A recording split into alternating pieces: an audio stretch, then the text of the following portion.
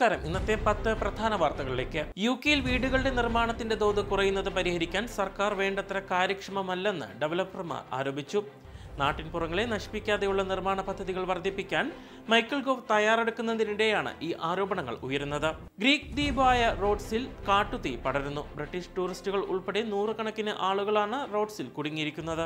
ആശ്രിത വിസയിലെത്തിയ വിധവകൾക്കും വിവാഹമോചിതർക്കും ഒരു വർഷം വരെ വിസ നൽകുമെന്ന് യു എ വിധവകളുടെയും വിവാഹമോചിതരായ സ്ത്രീകളുടെയും മക്കൾക്കും ഇതേ ആനുകൂല്യം ലഭിക്കുമെന്നും അധികാരികൾ അറിയിച്ചു. ഷോർട്ട് ഫിലിം ഫെസ്റ്റിവൽ നിരോധിച്ച് ഇറാൻ ഭരണകൂടം. ഹിജാബ് ധരിക്കാത്ത നടിയുടെ പോസ്റ്റർ പുറത്തുവിട്ടതിനാണ് ഈ നടപടി. ഇസ്രായേൽ പ്രധാനമന്ത്രി ബെഞ്ചമിൻ നെതിന്യാഹുവിനെതിരെ രാജ്യവ്യാപക പ്രതിഷേധം.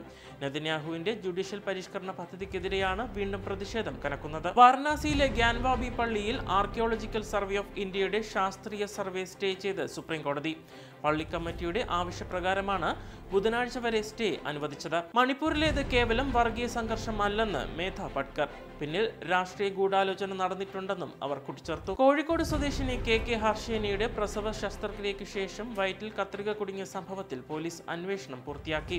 കോഴിക്കോട് മെഡിക്കൽ കോളേജിന് വീഴ്ച സംഭവിച്ചതായിട്ടാണ് അന്തിമ റിപ്പോർട്ട്. ലോകായുക്ത വിധി അട്ടിമറിച്ച് വിദ്യാഭ്യാസ വകുപ്പ്.